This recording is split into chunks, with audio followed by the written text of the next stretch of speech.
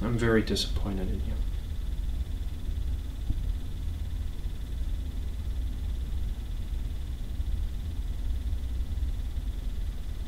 Just shouldn't do that ever again. Now we're gonna have to call in a janitor.